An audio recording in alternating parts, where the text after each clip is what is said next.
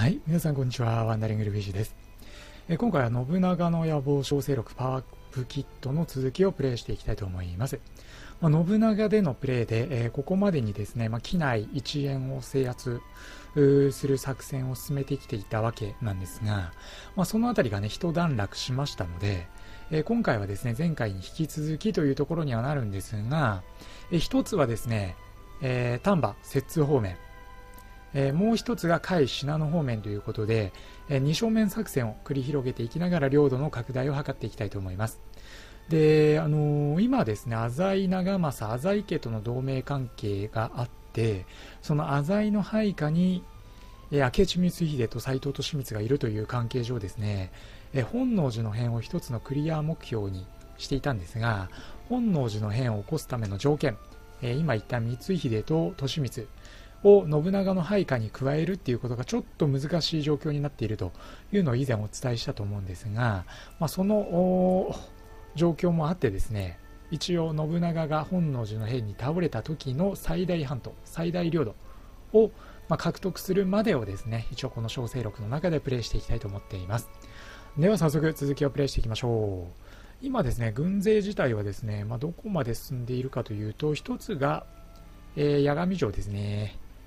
えー今、旗野家が持っているこの八神城、ここに攻め入っているというのが一つと、あとはですね、今まさに攻め込もうとしているのが、えーこちらの深市城ですね、武田の深市城。この辺りの攻略戦を今回お届けできればいいかなというふうに思っています。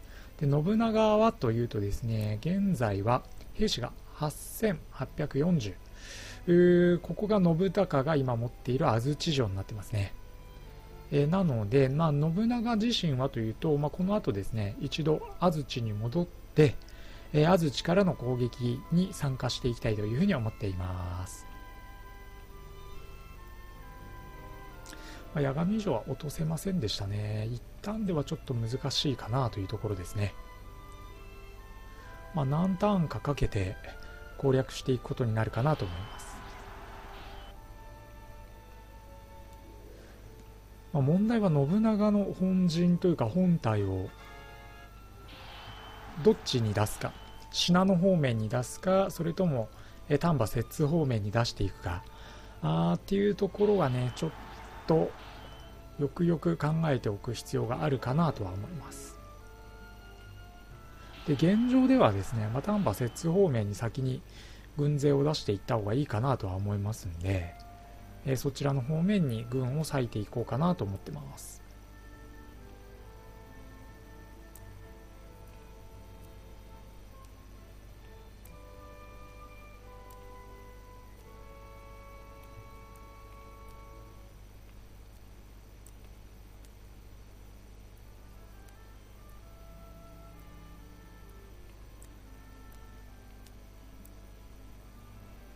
今信孝信勝あたりはこの安土に入っている状態ですね。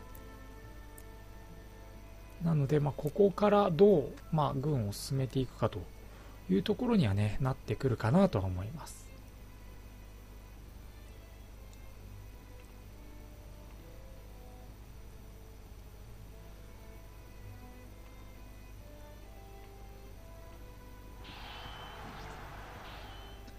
関東はね依然北条が大部分を抑えているかなとは思いますが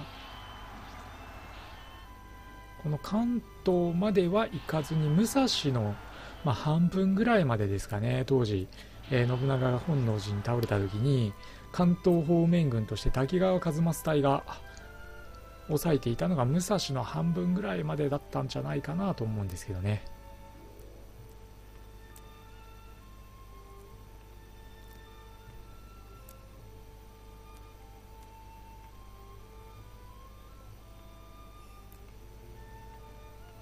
さあでは本体も動かしていきましょうか。そろそろ。今信長の本陣自体はえー、っとこっちにいるんだよね。まあ深市城攻略に向けてというところになるとは思うんですが。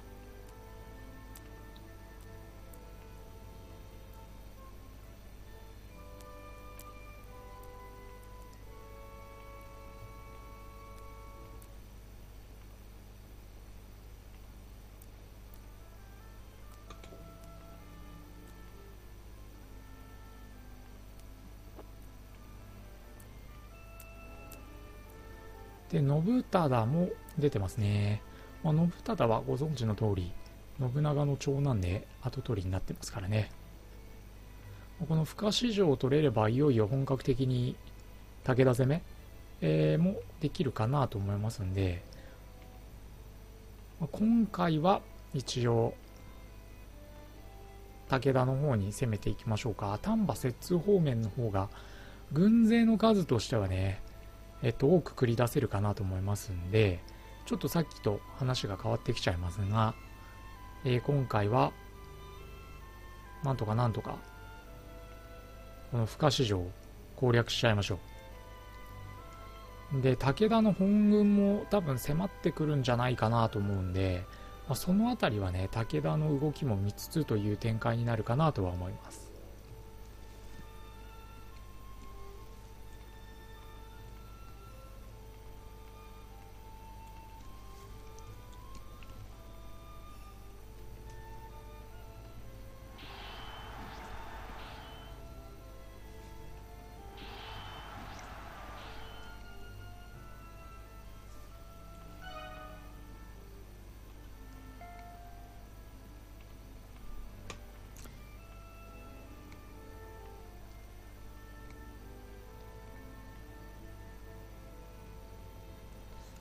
とはね信長の特性である三段打ちあたりがねしっかり決まってくればだいぶ強くなるんでそういう意味で言うと鉄砲をね買い揃えていきたいなとも思うんですけどね。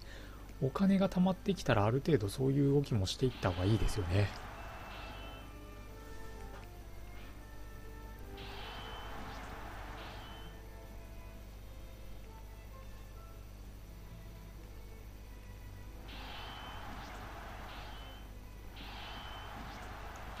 まあ、一条谷あたりはだいぶ激戦になってる感じだな浅井と鈴木、まあ本、旧本願寺ですね。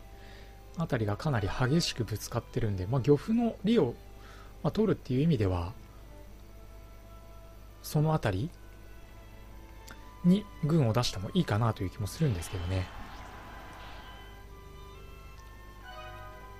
まあ、浅井と鈴木は潰し合いをしていってもらうのが一番都合がいいといえば都合がいいので、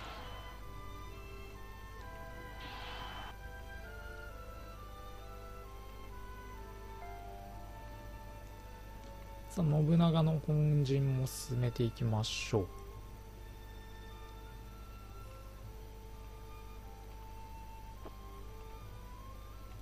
まあ、先見部隊である年家の部隊とかがね、もうそろそろ、えー、敵の勢力圏内に入ってはいきますからね。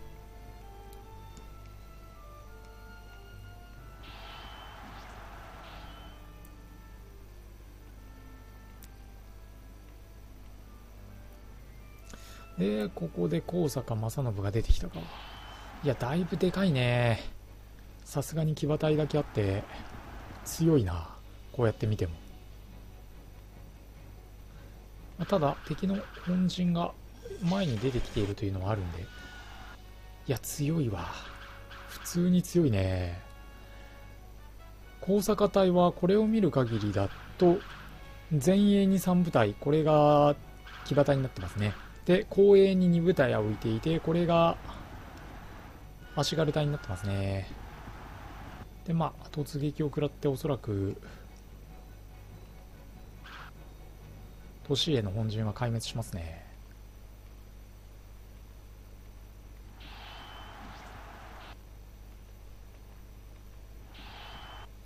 まあ、この辺りはどうしてもね、攻める側が不利で、えー、守る側は攻撃隊の側面をいきなりつけるっていう、まあ、かなり有利な面があるんで軍勢をこう矢継ぎ早に繰り出していく。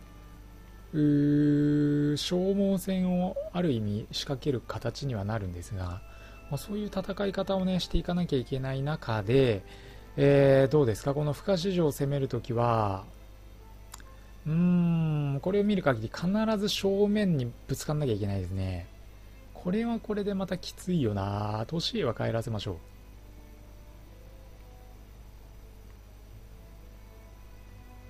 う。信長の本陣が出てったとしてもきついですよね。これだと。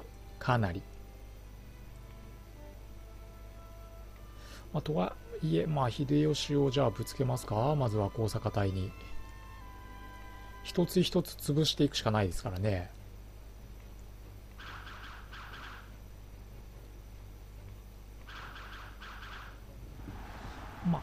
幸い敵が本陣が一番前にいてくれるっていうのはね、えー、本陣さえ潰せば敵部隊は壊滅させられるのでそういう意味で言うと多少勝機が残っているかなというところですね。まあ今のように高坂隊がもう100まで減ってるので次こちらの攻め手のパターンが来ればあるいは潰せるかなと思うんですが秀吉の方が先に潰れるかな大丈夫か？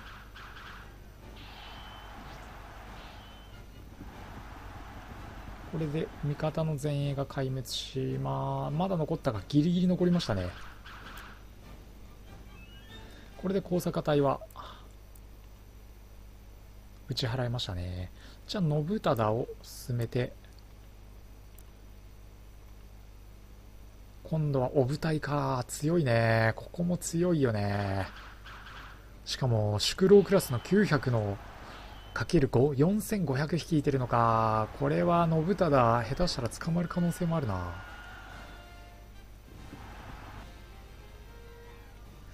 まあ、こんな感じになるよね。しかも、弓攻撃は打ち払われると。やっぱり鉄砲を持ってこなきゃダメだったかな。これ、信忠の本陣が敵の突撃に合いますね。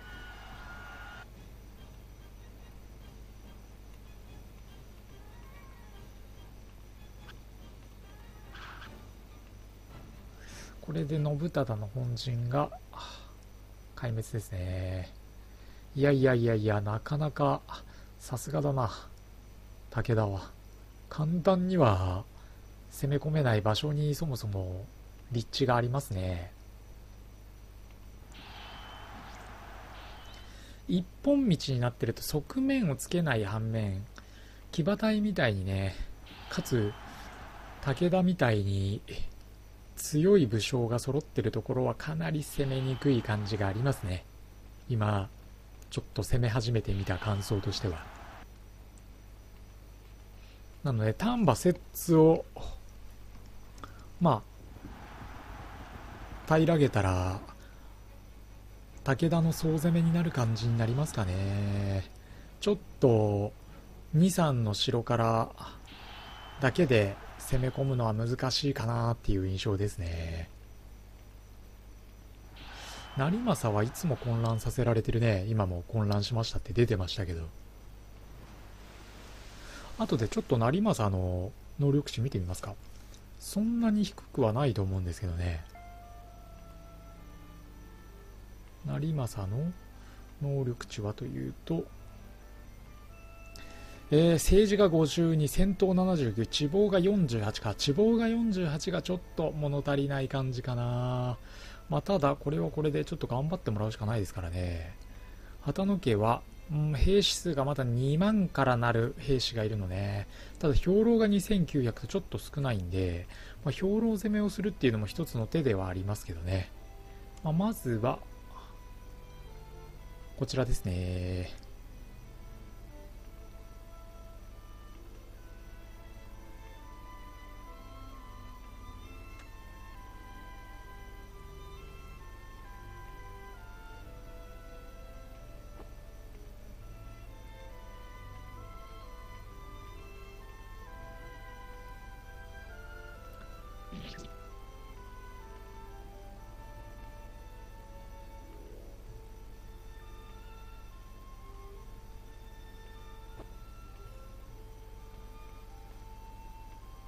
さて、山形隊にぶつかりますか？いきなり山形隊の突撃か。しかも本陣突撃？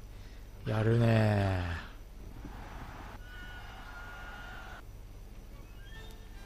ただ、ここは勝家も負けてない。士気の上でむしろ上回ってるからな。まあ、敵の本陣を一気に狙いましょう。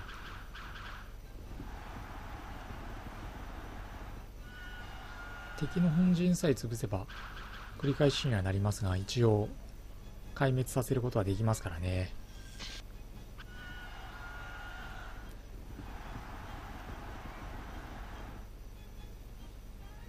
まあ、撤退戦をする上でもいずれにしても敵の追撃を止めるっていう意味ではどうしても山形隊は潰しておきたいですからね。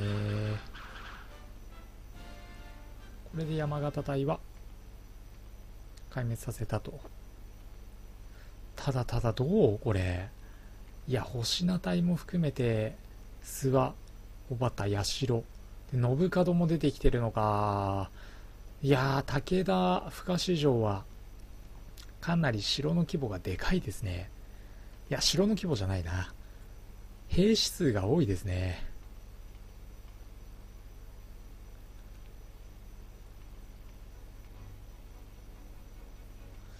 ここは場合によっては一度撤退せざるを得ないかな。諏訪はただ頼忠。戦闘力33これはかなり低いね、まあ、たださすがに騎馬3足軽2の構成だと戦闘力では余ってても士気の面で圧倒的にグリグリ削られていきますね。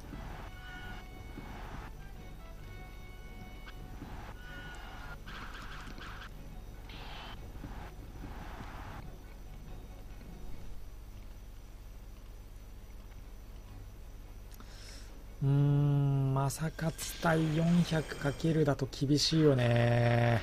信門相手だと。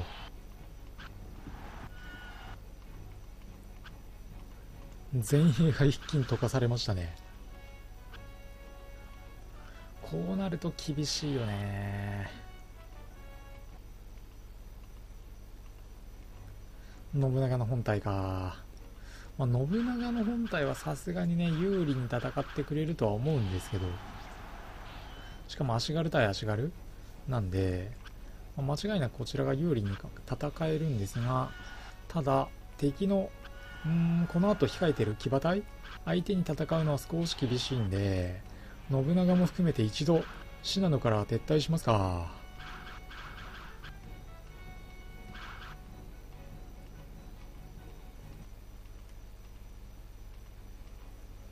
まあ矢継ぎ早に来るよね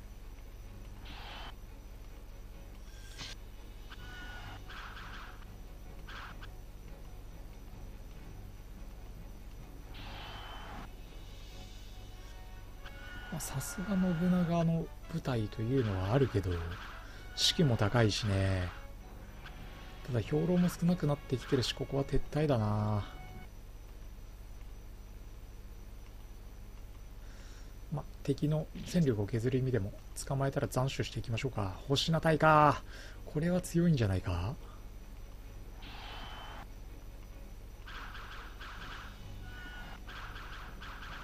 まあ、ただここでね鉄砲隊とかがいると一気に戦いを決められるかなって感じもするんですけどね。敵の本陣を総攻撃できますからね。鉄砲隊だけで。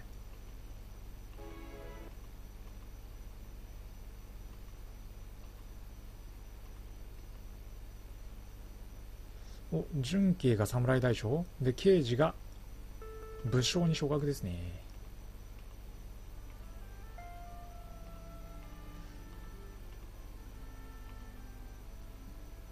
さあではちょっとね残念な形にはなるんですが、えー、撤退させていきましょう。信長の本陣も壊滅するわけにはいかないので。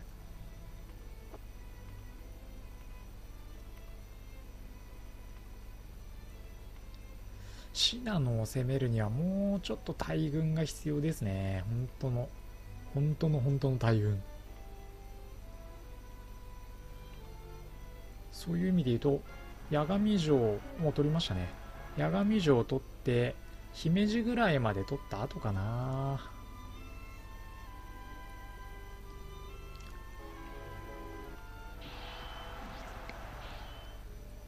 まあ、一条谷をねこう争ってる鈴木旧本願寺系と浅井長政の構想に介入してもいいと言えばいいんですけど。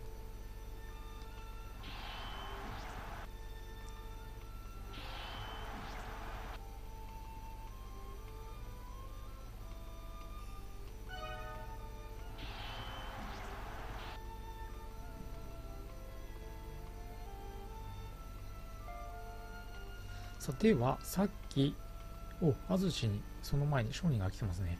で、浪人もいると。なるほど。じゃあ、まずは豊用していきますか。えー、年家に浪人の豊用、一式か。どうだろう。うーん、まあ、来ないなら来ないでいいかな。どちらかっていうと、今は、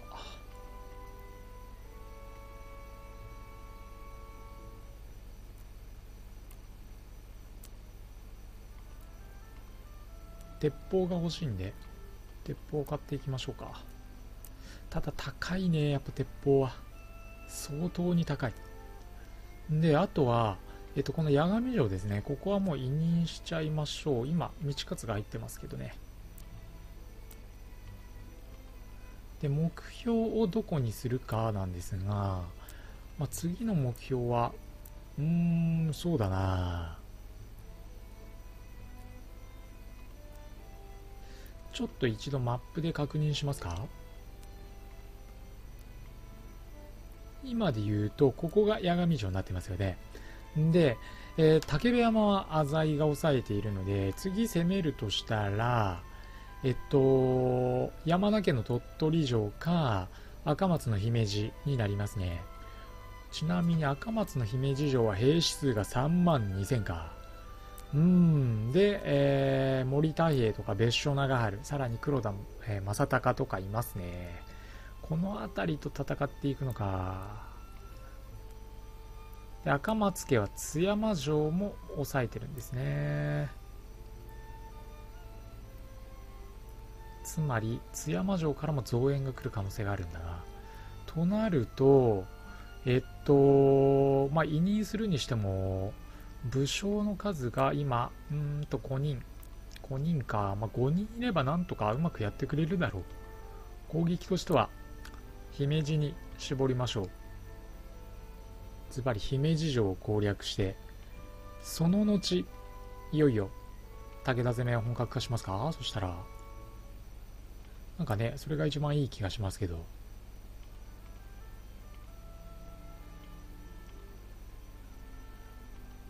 大阪とかね、この辺りは城の規模も大きいんで、兵が溜まってくれば、かなりの大軍勢をね、一度に送り込めるというメリットがあるので、まあ、積極的に委任は攻撃にしちゃいましょう。まあ、機内の部隊をね、一一度にその繰り出すことができれば圧倒的に有利になるのは間違いないんで、あとはそのタイミングなんですよね。全部自分で動かすと結構これさすがにめんどくさいんで、まあ、それはできれば避けたいかなというところにはなるんで、えー、まあ、コンピューター任せ、AI 任せにはなるんですが、そこをうまくタイミングがあってくれると、スルスルスルっと姫路、津山あたりまでは取れちゃうかもしれないんですけどね。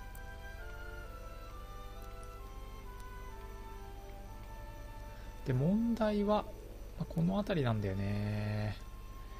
大川地上の今攻略目標が姫路か。ここは今設定したところなんでいいですよね。問題は、えー、っと、まず岐阜。岐阜が不可視になってるよね。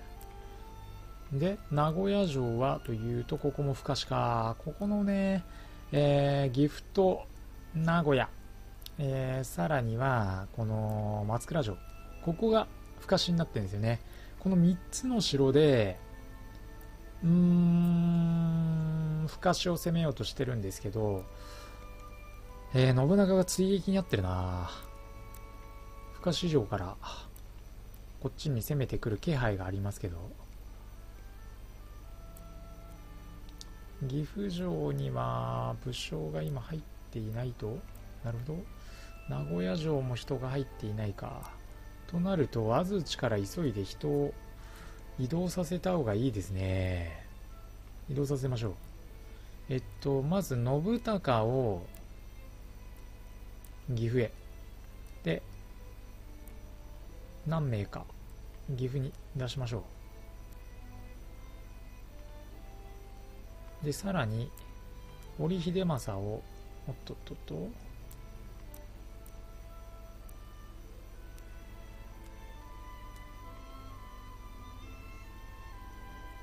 秀政を名古屋へ。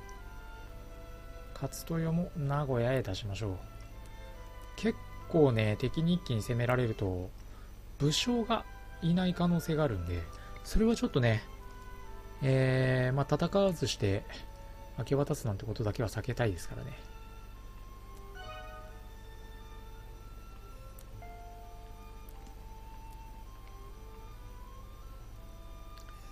で武田の追撃隊がどこまで迫ってるかというと結構後ろにピタッと迫ってるね。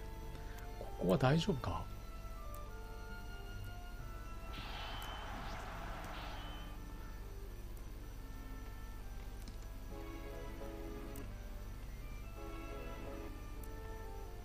丹波を抑えたんで、まあ、丹波から摂津方面あるいはその鳥取方面に軍を出しつつ信濃から来る武田に関してはしばらくは防戦になりそうな感じですかね。ちょっとね想定してなかったところではあるんですけど。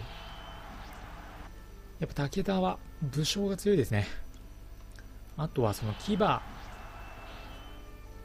隊が多いんでこちらも鉄砲をある程度揃えるまでは信濃には手が出せないかもしれないな。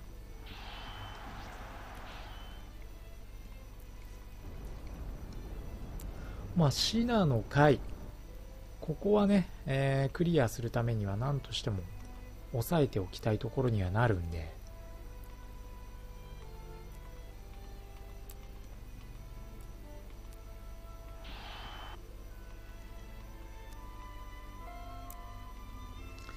気になるのが、うーん、追撃隊だよね。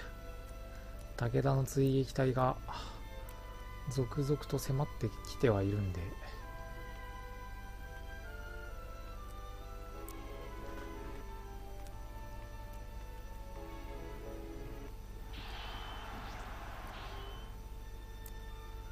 で早くも姫路方面に出撃はしてるね。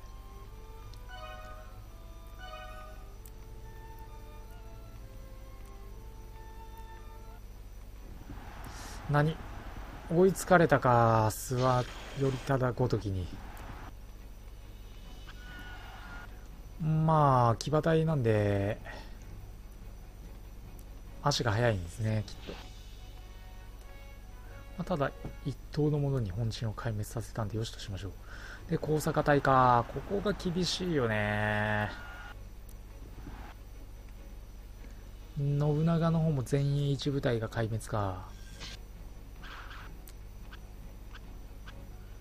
どうしても鉄砲隊が欲しいね。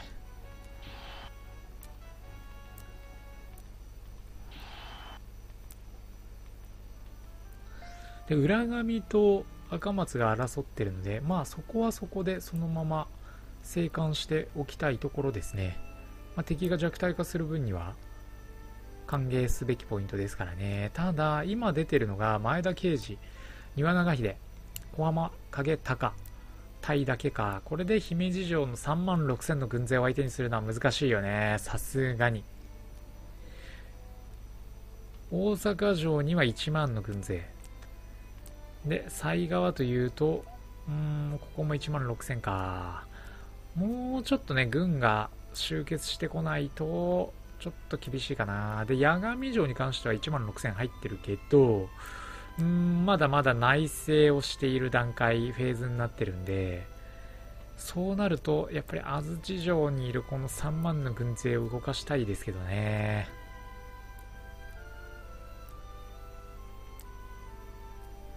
で、安土城は軍馬の数は半端ないね。1万2000。ってことは、ここに、どうでしょう。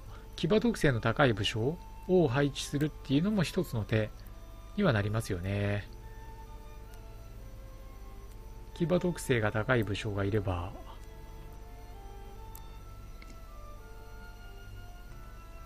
ま、勝家の A が一番上か。あとは刑事とかもね、前田刑事とかも強そうなイメージはありますけど、前田刑事はヤマトに今いるので難しいかな。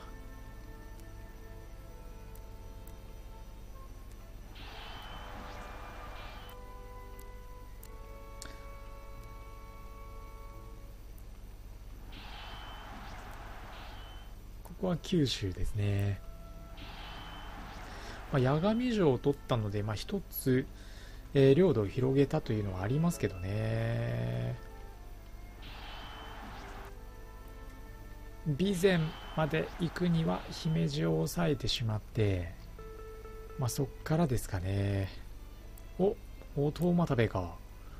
大東又部は雇いましょう。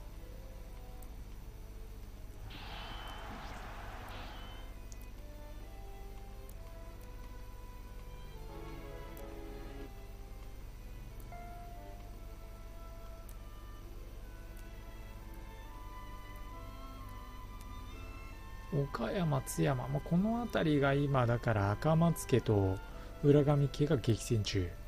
でここはというとうんなるほど。浅井が山名を攻めようとしている感じがありますね。で山名家の方はというと兵数が5万いるんで、まあ、ちょっと簡単には落とせないかなっていう感じがするな。浅井勢もね。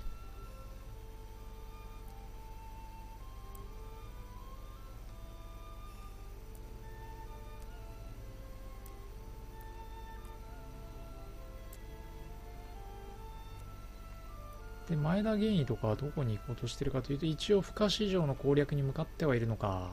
ただこれだけの軍勢だけで攻め込むのはかなり危険ですよね。まあ信長の本陣もあわやというところまで追い込まれるほどの武田の軍勢ですからね。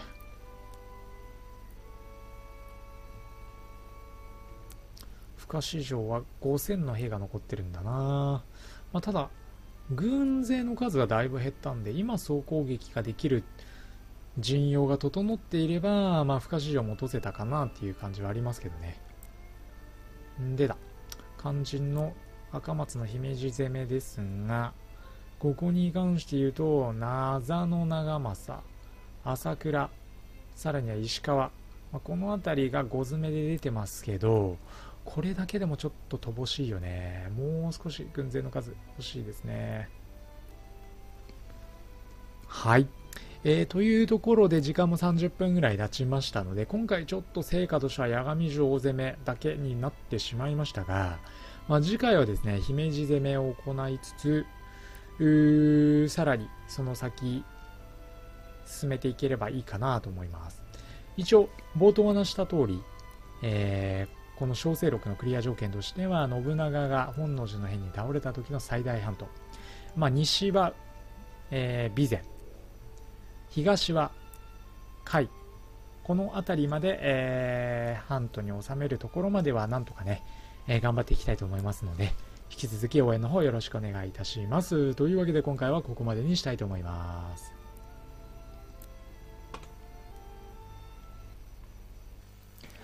はい。皆さんいかがでしたでしょうか、えー、もしよろしかったらですね、えー、このチャンネルの登録をよろしくお願いいたします。あとですね、Twitter の方で、え動画の更新状況と、あと収録状況、まあ、その他雑多な内容にはなるんですが、情報の方を発信しておりますので、えー、よかったら Twitter の方もフォローもよろしくお願いいたします。